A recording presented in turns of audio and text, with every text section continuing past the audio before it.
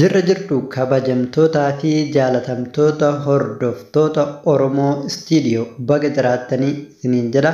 Egaa har'a barumsa haalaan bareeda ta'e tokkoon qabadhee isiniif dhiyaadhe eessayyuu hin deeminaa hanga xumura sagantaa kanaatitti na wajjin turaan affeerraa kan kooti jechuudha.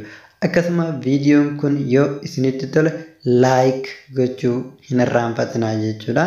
Gaafiilee garaagaraa akkasuma wantoota gaafachuu feetan yaada qabdan yoo jiraate koomantii jalatti nuuf barreessitanii yoo jettan yaada keessan hubannee nullee itti cimnee akka hojjannu waan nu taasisuuf jecha koomantii jalatti yaada keessan nuuf barreessuu hin irraanfatinaa jechuudha.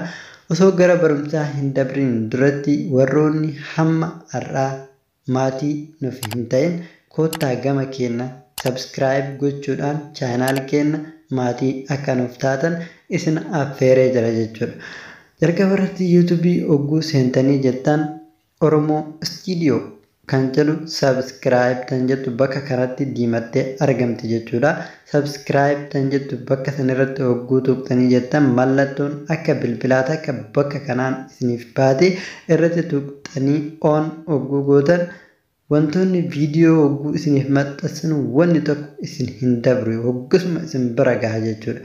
Egaa maqaa kanaan Oromoo Istiidiyoo jedhu kanaan yoo isiniif argamuu baate shakuu app yoo jettanii itti barreessitan qallaalimatti qaxxisaa Oromoo Istiidiyoo kan jedhu bira isin geessaa Oromoo Istiidiyoo sabskiraayib gochuudhaan maatii taatanii fi akka barumsa gaggaarii isiniif dabarsu irraa barattan abdiin qaba jechuudha.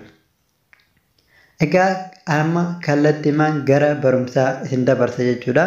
Barumsi keenya har'aa warroonni Suud Arabiyaa keessa jirtan warroonni shari'aa zeenii qabdan haala kamiin daataa bilaash fayyadamuu dandeettan mallaqa xiqqoo kafaltanii daataa bilaash baatii torba baatii saddeet saddeetii olis fayyadamuu ni dandeessan jechuudha.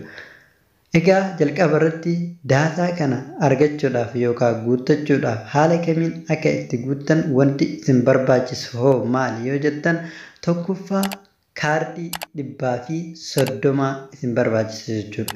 Kaardii abbaa dhibbaa fi soddomaa yookaan reyaala dhibbaa fi soddomaan bittanii itti guuttattanii jechuudha. Erga itti guuttattanii booda maal gootanii kaardii dhibbaa fi soddoma erga itti guuttattanii booda miseejii keessan keessa ni galtu jechuudha. Miseejii keessan keessa hogguu galtan miseejii keessan keessa hogguu galtan bakka kanarratti ni tuqxanii jechuudha. Hogguu bakka sanarratti tuqxan haala kanaan isinii fida jechuudha. Achi booda bakka gubbaa kanarratti ni tuqxan. Achi booda maal gootanii kan jalqabaa kanarratti sagal shan sagal jettanii itti barreessitanii jechuudha.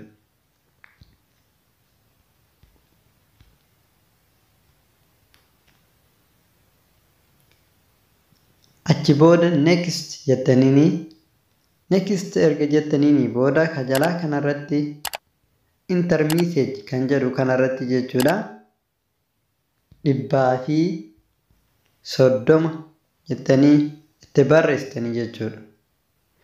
Erga itti haala kanaan itti barreessitanii san booda send gootanii waa tokko isin hin rakkisu jechuudha. Miseejiin isiniif deebi'ee jennaan hoggasuma miseejiin isiniif deebi'aa alaaxuul isiniif hojjeta jechuudha. Hanga dhumaatitti isiniif hojjeta. Dhibbaan dhibbatti isiniif hojjeta jechuudha sirriitti. baatii saddeet baatii sagal natsaa itti fayyadamuu dandeettan jechuudha birrii dhibbaa fi soddoma qofaan itti guuttanii hanga dhumaatti haga baatii torbaa saddeetitti itti fayyadamuu dandeettanii carraan kun isin hin dabrinii itti fayyadamaan isiniin jedha. Anis ergan fayyadamuu eegale baatii torbaffaa keessa seenee jira. Carraan kun isin hin dabrin jedheetin namoota hin argineef akka barumsa ta'u jecha barumsa kana isiniif laadha jechuudha.